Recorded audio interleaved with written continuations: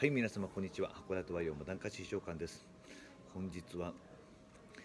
1月13日です、えー、函館市の隣町っていうんですか隣の市。で北斗市っていうところがあるんですけどもそこと,、えーと、北斗市があってその隣に七重町というところがあります。そしてちょっと離れたところに、えーと森町というところがあるんですけれどもそちらの都市では今日が成人式を成人式のセレモニーが行われます。ということで当店にもたくさんのお客様たちが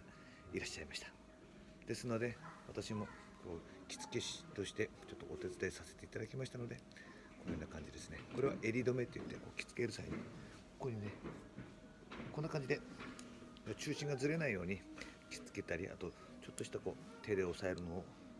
ここでこうこんな感じでねピッと押さえたりとかするのに使うんです。こうキランとしてますね。そんな感じで、はい、やっております。明日は函館市の成人式があります、えー、朝もう5時起きでですね、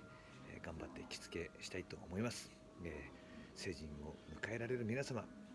心からお待ちしております。それではまたお会いしましょう。函館は4段階新書館でした。